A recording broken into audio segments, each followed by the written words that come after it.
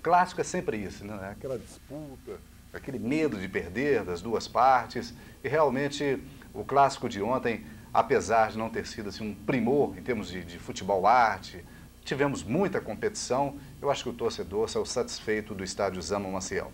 Pena que a arbitragem resolveu aparecer mais que os jogadores e o torcedor já sabe. Onde o árbitro aparece muito, no jogo que o árbitro aparece muito, cai a qualidade e realmente a gente deixa, às vezes, de ter lances mais emocionantes justamente por causa disso. Nós estamos recebendo hoje, aqui no debate esportivo, o companheiro Vantuir Silva, da Crônica Esportiva, trabalha conosco na Super Rádio Patos e é o nosso convidado, vai atuar conosco aqui, fazendo perguntas para os nossos convidados. É, o Vantuir estará conosco, também o nosso convidado do Esporte Clube Mamoré, o zagueiro Dutra, que ontem realmente foi um, teve uma grande apresentação na partida de ontem lá no estádio Zama Maciel.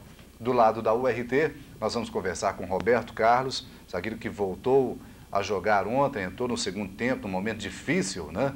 E, mesmo assim teve uma boa conduta durante uh, os momentos que participou do jogo, ele que voltava de uma contusão, de uma cirurgia no joelho. E temos também a participação de Marcos Antônio da Silva, que é presidente da UEP e vai abordar conosco a questão da 18ª Olimpíada Estudantil Patense.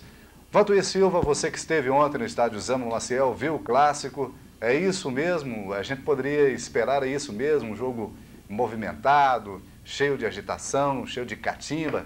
É isso o tradicional clássico, Vantuí? Boa noite. Boa noite, Ricardo. Boa noite, amigos da NTV, convidados. Nós que Estivemos ontem no estado de acompanhando com prazer mais um clássico entre o RT e o Esporte Clube Mamoré. Sem dúvida, uma grande festa. O torcedor foi ao campo, atendeu o chamamento da imprensa de Patos de Minas, das diretorias, e tivemos uma grande festa, um grande jogo, sem dúvida alguma. Faltou o gol, né? Para brindar o torcedor que esteve presente no estádio Zama Marcel. Com relação à arbitragem, é verdade que o Lincoln travou muito o jogo. O RT criou, criou as suas oportunidades, a Moré também criou as suas oportunidades, mas faltou o fator sorte, né? Agora, outro detalhe que gostaria de observar é com relação à técnica, né? Não tivemos um jogo técnico, e sim muita garra, muita determinação. E faltou, mais uma vez, repetindo, o gol para brindar o torcedor. Muito bem. E o Dutra, inclusive, foi eleito ontem pela Super Rádio Patos, pela equipe de esportes, como melhor jogador em campo no estádio Zama Maciel, ao lado do Carlos Alberto, da URT. Ô, ô, ô, Dutra, é isso aí mesmo? O clássico é esse tipo de jogo mesmo, jogo duro. Às vezes não tem muita técnica, mas em compensação sobra determinação por parte dos atletas das duas equipes. Boa noite, Dutra.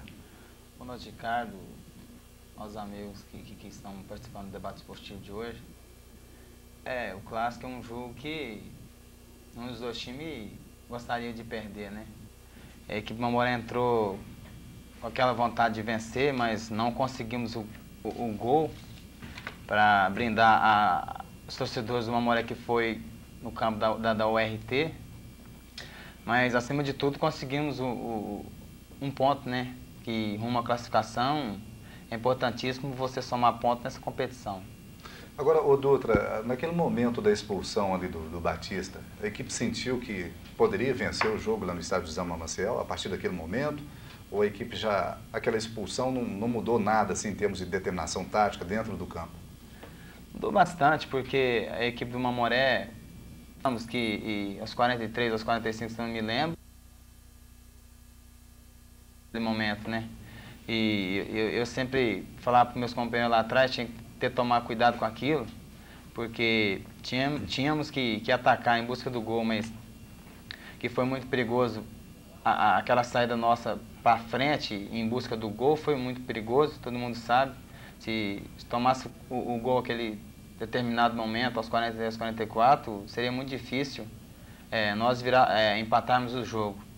Eu creio que a expulsão do Batista, por um lado, foi bom, porque tivemos né, a chance de, de, de, de, de chegar mais para frente no jogo. E se o Mamoré tivesse um, uma conclusão melhor, teria certeza que teria feito o gol e conseguido ganhar o jogo. Bom, e a gente lembra ao torcedor que está em casa, está acompanhando o debate esportivo, que o torcedor pode ligar para a gente através do telefone 821 4488 e fazer a sua pergunta para os nossos convidados aqui no debate esportivo. Força de vontade foi fundamental, né? Graças a Deus aí, foi da vontade de Deus, né? Tinha essa contusão, mas graças a Deus superei esse problema. E graças a Deus na partida de ontem né, consegui ajudar a equipe do RT. E se Deus quiser agora é continuar o trabalho, se Deus quiser, vamos conseguir um resultado positivo nessa, na quarta-feira. Agora, o Roberto, ser chamado para participar num jogo, num clássico, no momento daquele, um jogador expulso e de, se recuperando ali de uma, de uma cirurgia, pesou ali psicologicamente para você quando você voltou ao gramado, Roberto? Ah, acho que não, né? Acho que faltou ali ritmo de jogo, mas graças a Deus na vontade eu superei, né? Acho que a gente está no banco, ele tem que altura daqueles que estão jogando. Vinha trabalhando fisicamente, né? Nós está tecnicamente bem, mas graças a Deus, né, com a força de vontade, acho que tem muita fé em Deus e graças a Deus no momento difícil daquela partida, conseguir, dar, que, conseguir o resultado positivo. É evidente que o jogador, é, no caso do Roberto Carlos, não esperava o que aconteceu, né, Roberto? Você estava no banco de reservas, eu me lembro que você disse que aproximadamente três meses você nessa recuperação. E de repente, a expulsão do Batista, você tendo que entrar naquele jogo. E na quarta-feira, com o julgamento do Euro, que deve ocorrer amanhã, você seria uma opção forte Daniel para o jogo em Itabira. É, não, tranquilo, o Daniel já conversou comigo, né? Participei um pouco daquele jogo, já peguei um pouco de ritmo, né? Trabalhei forte pela manhã e à tarde, agora é esperar a hora do jogo, né? Se Deus quiser amanhã fazer um tra trabalho pela parte da manhã e lá em Itabira nós possamos buscar um resultado positivo lá, sabemos, cada dos companheiros, né? Trabalhei em cima da minha contusão, sabia que ia ser um jogador importante para a equipe do RT. Né? Tanto é que a diretoria confiou em mim, me levou no Uberaba, me deram um maior apoio, isso seria importante, né? Agora ter tranquilidade, se Deus quiser, nós vamos lá com o pensamento que é a vitória, se Deus quiser, lá, quem sabe nós possamos trazer dois pontos da tabela. Ô, ô, Dutra, eu senti que o jogo começou nervoso ontem, o Lô estava nervoso, você entende assim também? Não, eu, no meu ponto de vista, eu já conheço o Lô há vários anos, eu sei que ele é um jogador que, que não gosta de perder, não gosta de, de, de tomar bordoada, de, de, de, chegar mais junto, mas eu sou amigo do Lô fora de campo, conversando com ele dentro de campo, muito nervoso, né? Teve aquela discussão com o Gomes, sabia que, que naquelas circunstâncias do jogo, por ser o clássico, principalmente jogador igual o Lô, aquilo ali era normalmente. Você pode ver que quase todos os clássicos têm aquelas é, aliviando o perigo lá de trás, é, é um estilo meu de jogar há muitos anos, mas com o decorrer do, do, do tempo, com a experiência que o jogador vai adquirindo, é, totalmente você pode é, mudar esse estilo de jogo, mas sempre com aquela garra, com a determinação de, de, de, de tentar ser xerife ali atrás, eu acho que, que isso é muito importante. O torcedor gosta do, do, do tipo que eu jogo, do estilo que eu jogo, e para mudar você tem que mudar pouco a pouco, meu ponto de, de, de opinião e de vista. Tá certo. Realmente o Dutra tem essa facilidade né, de, de, atuar bem no desarme e tem um porte físico realmente muito avantajado, né, um jogador de, de mudar. E principalmente nas bolas no alto, né? Sobe, tem uma impulsão. Agora, tem uma pergunta aqui do torcedor, ele quer saber, aliás, a gente continua insistindo que se você quiser fazer pergunta para os convidados, ou mesmo para a gente, se a gente tiver condição de responder, né? É, pode ligar no 821 4488. Torcedor do Esporte Clube Mamoré, o Juninho quer saber se Dutra e Pio Eugênio têm condições de jogo amanhã em Araxá. Eles serão julgados pelo TJD amanhã, né, o Vantuí Silva? Tá certo. Agora, a equipe joga à noite, joga depois do julgamento. Como é que ficaria essa questão? Você está consciente disso aí? É, vamos sempre que acompanhar o julgamento, né, que vai ocorrer amanhã. Doutor Ricardo, que é o advogado do Esporte Clube Mamoré, já foi acionado todo o departamento jurídico do Esporte Clube Mamoré para fazer a defesa dos jogadores o zagueiro Dutra e o meu campista Piogênio. Quer dizer, uma expectativa muito grande, mas o Jair já procurando armar a equipe e colocando na mente do jogador esse detalhe. O Dutra, Piogênio seguindo para achar, na expectativa de poder participar dessa partida contra o Araxá. É, é uma situação realmente, até certo ponto, incômoda, né? Foi um assunto debatido durante a semana, nesse, principalmente nessa segunda-feira. O julgamento é por volta de seis e meia. O jogo é programado para 21 horas. E se os dois forem condenados, realmente eu entendo que eles não terão condição de jogo, né? Agora, o Dutra, o pessoal já conversou com você sobre isso, sobre esse julgamento? Você viaja com a delegação, é claro, e torcendo por um resultado positivo nesse julgamento, levando aí uma pena mínima, né? É, já foi passado né, para mim o Piogênio, hoje à tarde, com, com o supervisor Valeco, eu, mas o Piogênio amanhã tem condição de, de enfrentar o Araxá. Eles passaram para nós que o resultado do julgamento só sai na quarta-feira. É, o telegrama eu fiz que eles mandam o Esporte Clube Mamoré. Temos condições para jogar amanhã diante do Araxá, segundo o Valeco. E com aquele objetivo né, de conseguir um bom resultado, eu creio que se conseguir um bom resultado em Araxá, uma vitória, nós podemos decidir praticamente a classificação contra até Três Corações aqui no domingo, no, no nosso próprio campo. Muito bem. Interessante a informação do Vali, porque qualquer medida ela tem que ser é, publicada oficialmente. Né? Então essa publicação só sai na quarta-feira. E é claro, até a publicação do julgamento do TJD, os dois jogadores estarão em condição de jogo, independente de resultado de julgamento que acontecerá amanhã na Federação Mineira de Futebol. E a URT vive um caso semelhante, só que o Euler será julgado amanhã, só que o jogo da URT lá em Itabira será na quarta-feira. E, no caso, a publicação acontece na quarta. Caso o Euler leve uma punição mais severa, de duas partidas, já que ele já cumpriu uma, é claro, ele não teria condição de participar do jogo em Itabira. E o Roberto Carlos é, voltou ontem à zaga, e a URT, além desse problema do Euler, tem também o Carlos Alberto, não o Silva, que levou o terceiro cartão amarelo, que estaria fora desse jogo de amanhã lá em Itabira. Correto. Além de Carlos Alberto, o Batista foi expulso né, do jogo de ontem e será julgado no, nesse julgamento de amanhã no Tribunal da Federação Mineira de Futebol. Quer dizer, o Daniel tem problemas para definir a equipe para o jogo em Itabira na quarta-feira contra o Valério. Bom, o Roberto, essa, essas alterações na defesa da URT, o pessoal não sente muito, você acredita? Veja bem, nós teremos pelo menos três alterações, né? A sua entrada, a saída do Batista e mesmo a saída do Carlos Alberto, que é o jogador que está sempre policiando ali, ajudando a defesa. Você acha que a equipe possa sentir alguma coisa nesse, nesse sentido aí, dessa ausência de alguns jogadores, Roberto?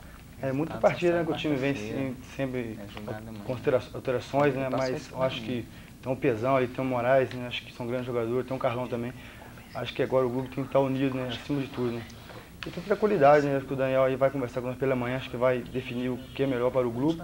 E nós possamos ir lá em Tabira e se Deus quiser lá, não podemos perder, se Deus quiser, vou conseguir um resultado positivo. Roberto, esse assunto aqui o Marcos colocou agora com respeito à arbitragem. Ontem, é, a gente que estava de fora, apenas acompanhando, apenas trabalhando pela imprensa, nós sentimos que o árbitro segurou muito o jogo, o jogo não desenvolvia, não corria. Vocês atletas, vou fazer essa pergunta para você e para o Dutra depois também. Vocês atletas sentiram essa dificuldade também no jogo correr lá dentro do gramado? Acho que essa possibilidade de um juiz apitar esse jogo é muito grande, né? Acho que o jogo estava ali muito trucado pelo meio, como já viu o Dutra, muito chegada forte, firme ali, né? Acho que nenhuma das equipes queriam perder, né? Tanto a do Mamoré como a do RT. Mas acho que isso aí é normal, né? Acho que o torcedor pode criticar o juiz, a gente é jogador também, a gente fala, mas a gente está convivendo no meio ali, a gente tem que ter tranquilidade. Mas acho que o jogo foi um jogo bom, né? Acho que queria que as duas equipes apresentaram, acho que o resultado foi justo. Acho até que o juiz, quando ele, ele terminou aquele jogo, ele deve ter respirado ali aliviado. Opa, né? Terminou, porque realmente o clássico é um negócio difícil. Ô Dutra, vocês lá no gramado, vocês atletas do Mamoré, sentiram essa dificuldade também? O árbitro realmente amarrou muito o jogo, truncou muito, parou muito, marcou falta, às vezes até desnecessárias. Você também entende assim? É, todo mundo viu que o juizão segurou bastante o jogo de ontem, né? Principalmente em, em jogo aéreo na área, ele dava muito, deu muitas faltas a, a favor dos, dos, defensores, né? E em termos de cartões amarelos também, ele, ele soube aplicar muito bem. Aquele lance do Lomas do Gomes, meu ponto de, de, de, de vista, ele tinha que, que dar cartões fizer cartão amarelo, pulou e pro, e pro Gomes. No, no, entanto, ele deu cartão só pro Gomes. Eu acho que, que ele errou bastante. E, no entanto, ele prejudicou o Momoré e como prejudicou o RT também. Mas sempre quando há clássico aqui em Patos, você pode ver que, que juiz que não, não, se cuidar desde o começo, ele se perde totalmente no jogo. Dutra, tem uma pergunta aqui de um torcedor, deve ser um torcedor da URT, não se identificou se você tem vontade de jogar na URT?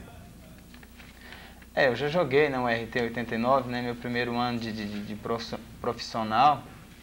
Eu estou há três anos no Esporte Clube Mamoré. No momento, eu não tenho reclamar de nada do Esporte Clube Mamoré. Quem sabe um dia, ou qualquer anos desses aí, eu posso voltar a vestir de novo a camisa da URT. Bom, então uma pergunta também aqui para o Roberto Carlos. Lembrando que você pode continuar ligando 821 4488 para fazer a sua pergunta aqui para os nossos convidados. Ô Roberto Carlos, a Edna quer saber se o torcedor da URT ainda pode ter esperança em termos de classificação da equipe para o grupo de elite do ano que vem. Classificação, né? Acho que a responsabilidade é muito grande. A equipe do URT é uma equipe de tradição, né? uma equipe de massa, torcida que vai em campo, acho que ajuda, incentiva em todos os momentos, né? cobra também, mas isso é de futebol, né? Mas acho que ela pode estar tranquila, se Deus quiser, acho que pensamento do grupo todo ali é um só que é a classificação.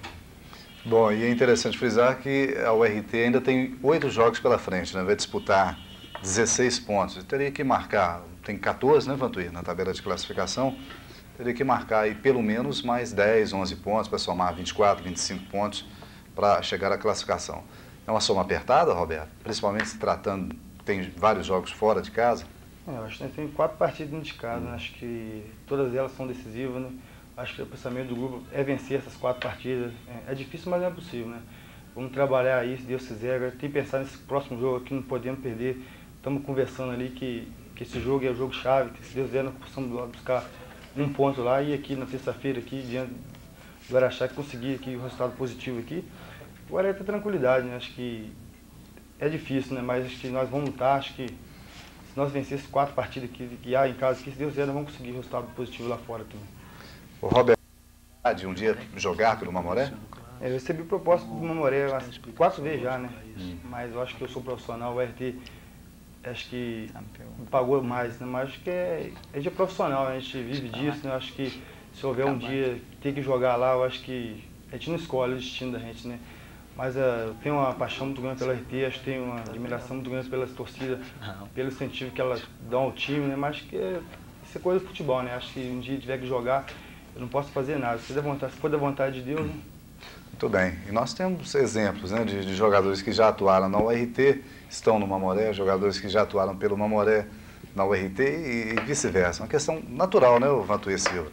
É, o, o, torcedor tem que encarar que o jogador de futebol ele é um trabalhador, aquela é a profissão dele, né? então onde ele encontra um rendimento melhor, uma condição melhor de trabalho, ou na URT ou no Mamoré, onde ele entender que vai ser melhor remunerado, tiver condição de mostrar melhor o seu trabalho, uma questão normal até. Um dia ele está na URT, outro dia no Esporte Clube Mamoré. É, sem dúvida, é uma tendência normal. Né? Agora, temos que analisar que é um profissional, né? jogador de futebol, uma profissão qualquer. Muito bem.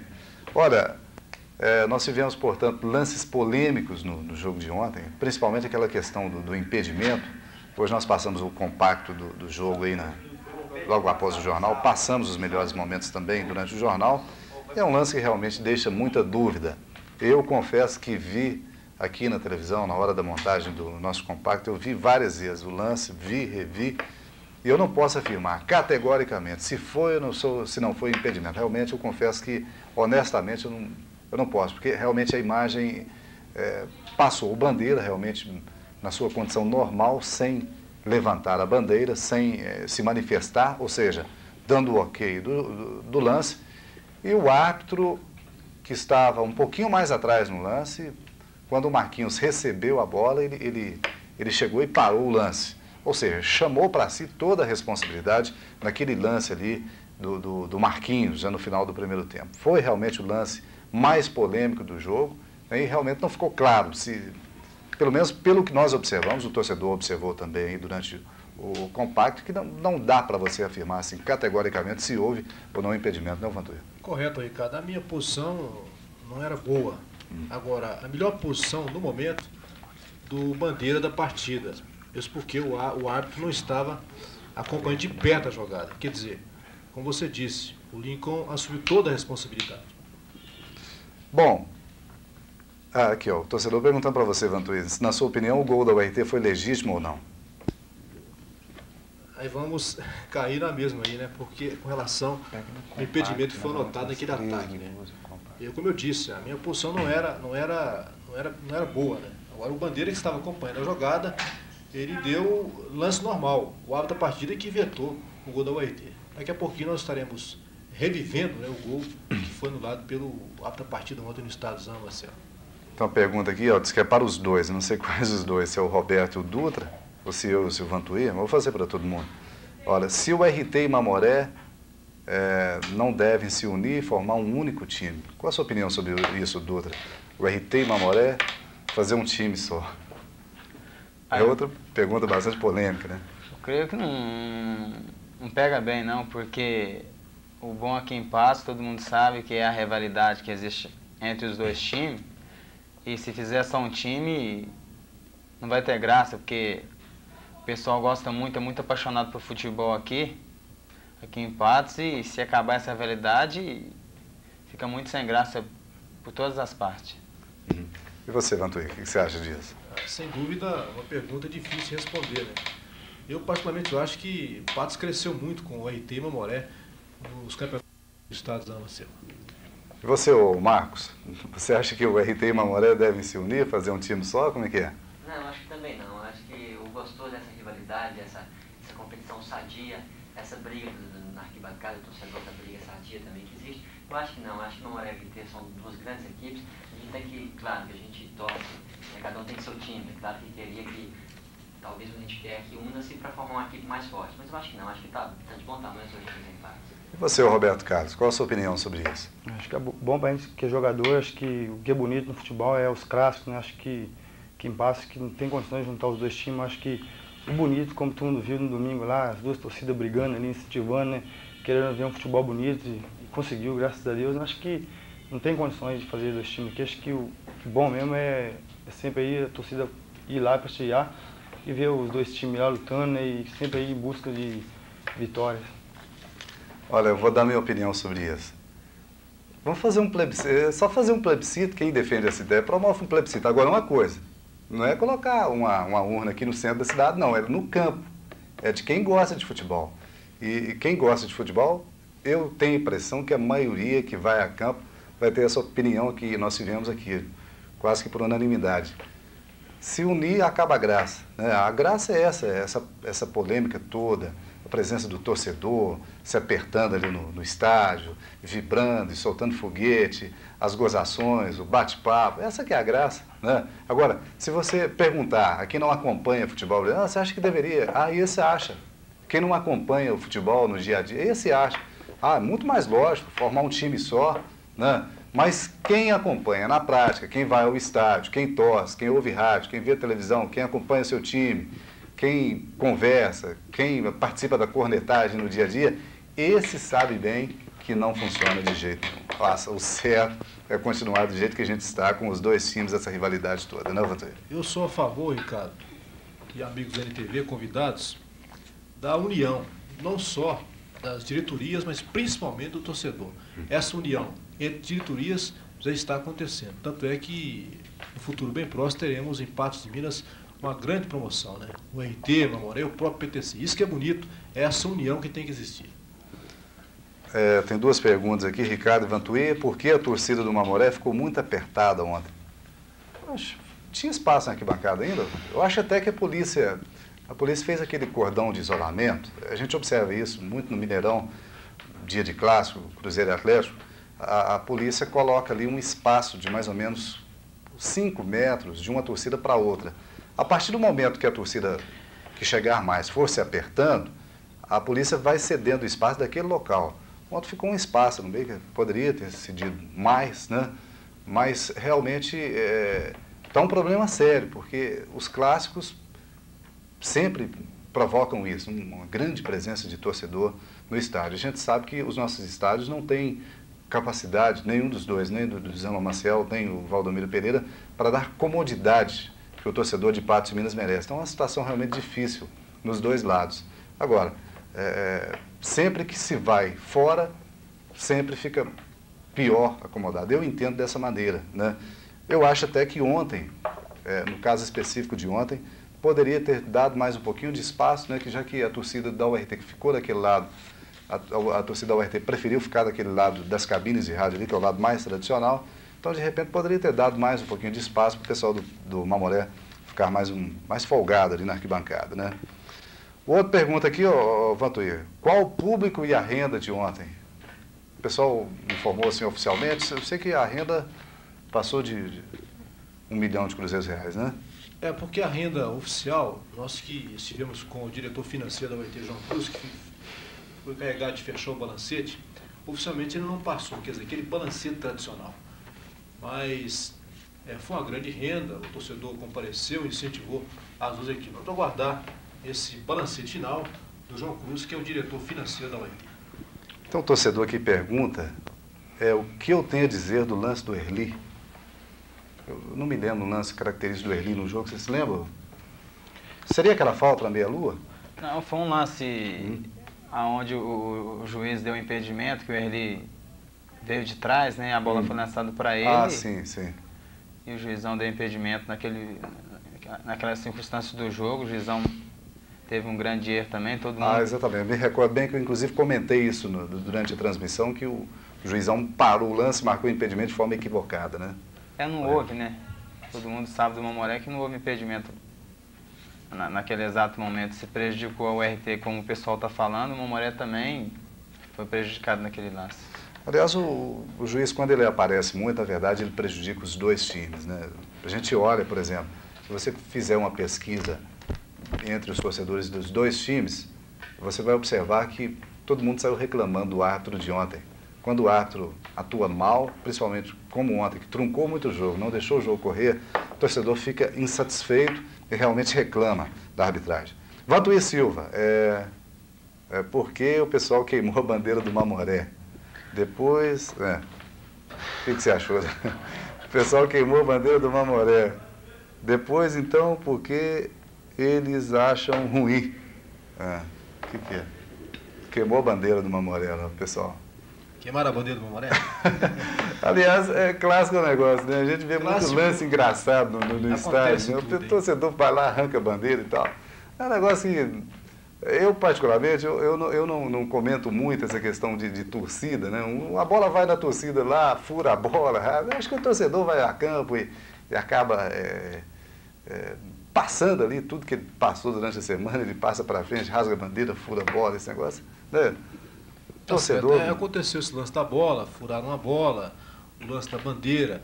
É que eu disse anteriormente, nós temos que pregar essa união entre torcedores de Patos e Minas. Com isso, com certeza, isso não acontece mais. Quer dizer, eu não, eu não admito, não adoto esse, essa forma de torcer.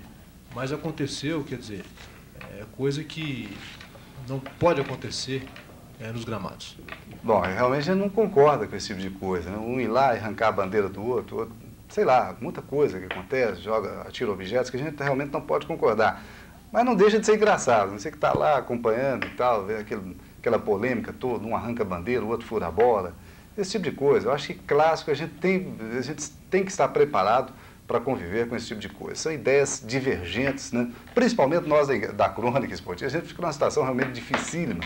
Né? Então a gente é, procura falar a verdade, mas é, de uma forma realmente coerente, né, que o torcedor realmente conhece muito bem, porque é uma situação realmente difícil, principalmente quando há tanta rivalidade como há hoje em Patos de Minas. Alguma observação a mais, Walter? Outro detalhe é a questão de segurança. Eu acho que a hum. Polícia Militar de Patos de Minas procurou dar atenção, segurança ao torcedor que foi ao estado de Zamacel. Até nesse episódio que surgiu lá com relação à bandeira, a Polícia Militar procurou, procurou conter né, isso daí, mas não foi possível mas vale se reentrar aqui, enfim, parabenizar o excelente trabalho que foi feito ontem pela Polícia Militar no estado de São Marcelo.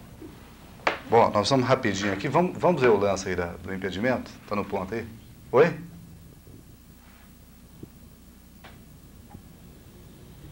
É os lances. Sobra de telo, deixou a bola picar, chegou Pael, dividiu. O árbitro parou ali, anotou a falta outra vez.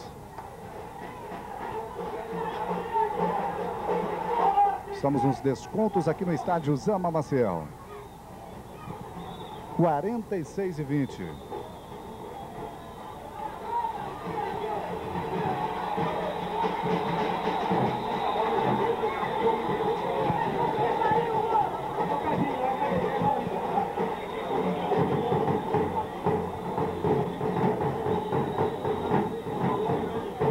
Cobrança vai ser feita através de Euler.